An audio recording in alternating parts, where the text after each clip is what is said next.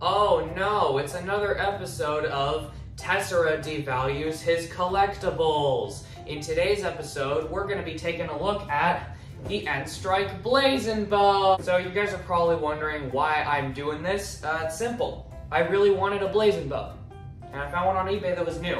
So yeah, why not? It's a new Blazing Bow. How could I pass that up? With all that said, it's time for the best part, where the collectors get really, really mad.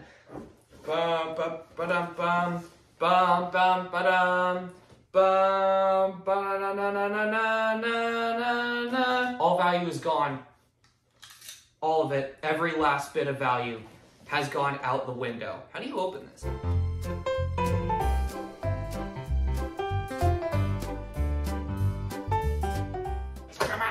Okay, we got it. It smells like a really old office from like back in the 90s. And here we have the, wow, that's beautiful. Okay, uh, so this is the Blazing Bow. It looks really pretty in person. Holy crap. It's shiny. It's like actually shiny. Gosh, it's all loose. Okay. what the heck? Okay, so this goes uh, spring loaded. Okay, so this goes on the bottom and it connects like, what? Does it connect like this? Oh, okay, it does. Okay, there we go, that makes sense. And then this one up here connects like that. Here we go. That's, okay, that's really comfortable. Um, other than that, good heavens, it's loud and it's hilarious.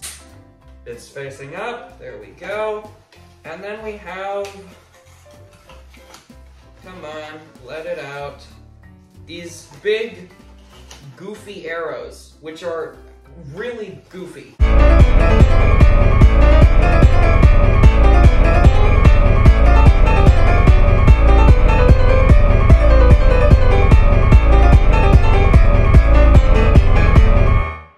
You guys have probably seen this blaster before. In my case, I have seen it countless times. I have seen this thing everywhere. This blaster has quite the history of being the blaster that all of my friends had and none of them ever played with. Seriously. When I was growing up, as soon as this thing came out back in 2013, basically everybody that I knew suddenly had one and none of them ever talked about it. I never saw any of my friends playing with it. I never saw, like, I would call them and, like, they would send me pictures and I could see the thing sitting on the floor in the background in the corner of their room. No one actually wanted to take responsibility for playing with this, has with playing with this Hasbro, playing with this blaster.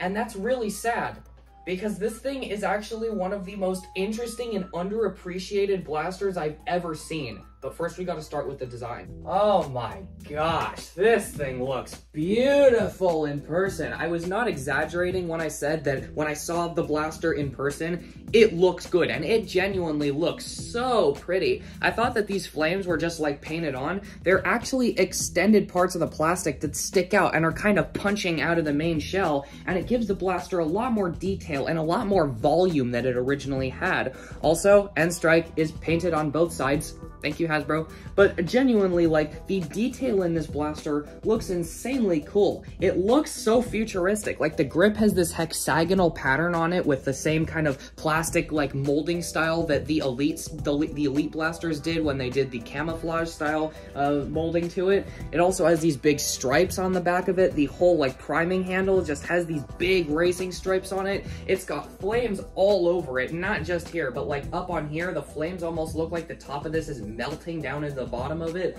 It is an insanely good looking blaster. This is seriously one of the best looking Nerf bows.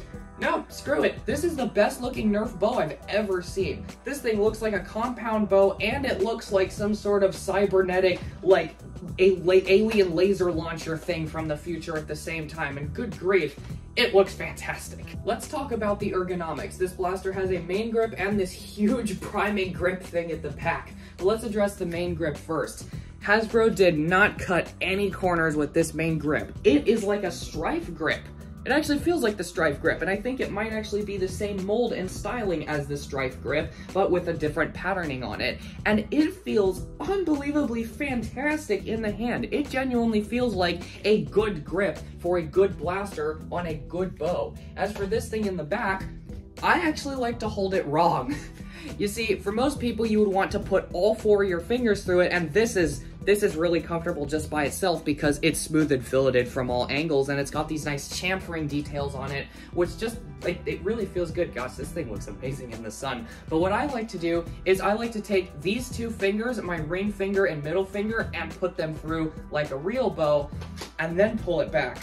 And doing that actually gives a similar feeling to shooting a real bow because if your ring and middle finger at the bottom, it is perfectly in line with your thumb and like the top of your hand, and it gives a much better sensation of shooting a bow like what I'm used to doing with my actual bow.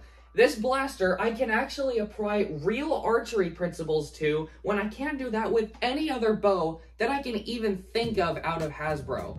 That's insanity to me. I'm pretty sure the Thunderbow you can do the same thing with because it has like the big arms that move down, but this one is a very close second, if not even first place. So how does this blaster work? Well, it comes with three of these big goofy ass arrows, which are actually a very interesting ammo type that I completely forgot existed for a very long time, mainly because they're just so simple. It looks like a really, really long Mega Dart or a Mega XL Dart without the head, and it's got these big fins on it. It's a really weird ammo type that doesn't seem like it should make sense out of Nerf, but it makes sense out of Nerf. You take one of these and you just push it over the end of the barrel like this, you pull this back, and you release the fire.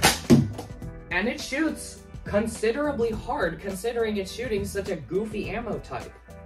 But here's what's really cool. Let's say you were to take off this air restrictor right here. All of a sudden you can do this.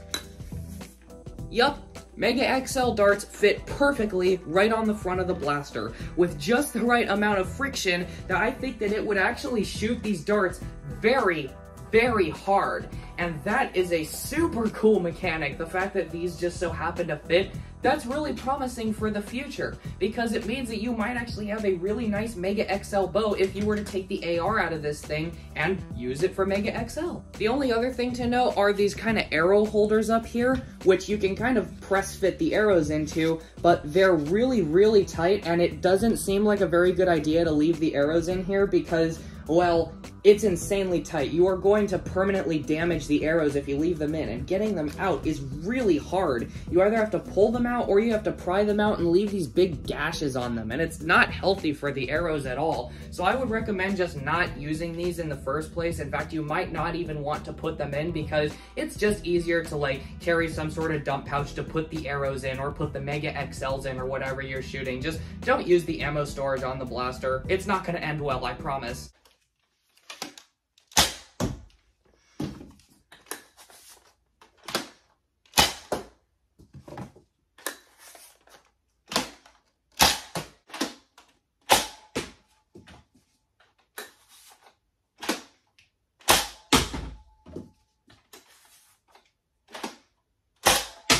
So the N-Strike Blazing Bow. Holy crap, is this thing better than I thought it was going to be. This is a blaster that really never got a chance. It came out and there were really no reviews on it. There were a couple reviews, but really not very many. All of my friends seemed to have them, but nobody ever wanted to play with them. Nobody ever really liked this blaster, and I'm pretty sure it's because of the Big Bad Bow. The Big Bad Bow is just another really big bow that shoots the same big goofy arrows, except that one is better in pretty much every way, except for the part where it really isn't a bow. It has a functional priming mechanism, catch, and trigger system. Yes, it looks like a bow, but it isn't pull back and release. You have a functional trigger that you have to take care of. This is a bow. It's got a pull back and release mechanism, and it was done in an insanely good way. The plunger tube inside of this blaster is massive. It's the size of a Longshot plunger tube, and that is terrifying because you can do some really, really good mods to this blaster without too much trouble at all. Imagine sealing off the plunger tube, taking out the air restrictor, and setting this up to fire short length darts you've got the guts for an extremely good pull back and release bow blaster that you could probably snipe people from insanely far away with. The design, the build quality, the ergonomic setup, the way that it is designed and the way that it is set up like a traditional bow, and that it really never cut any costs anywhere when it came to just being functional and being just a nice product. This thing is insanely good, and I feel very bad that this blaster never had a chance when it came out originally. This is a blaster I highly recommend you guys take a look at. Whether it's new, whether it's used, whether it's stock, or whether you want to mod it, the Blazed Bow is awesome. If you want to find it, I highly recommend taking a look at eBay, and they might have it on Blaster Barn, but I'm not quite sure. Thank you for watching. Bye.